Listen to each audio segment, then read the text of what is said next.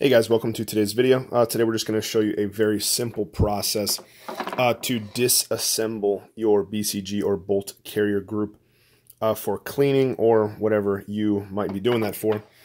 Um, so what we're going to do is take a round of ammunition, which is this is designed to be done like this, um, and we're going to remove the retainer for the firing pin. Um, so what that allows us to do is now give it a little tap and the firing pin will come right out. Um, at this point in time, we just need to remove the bolt itself.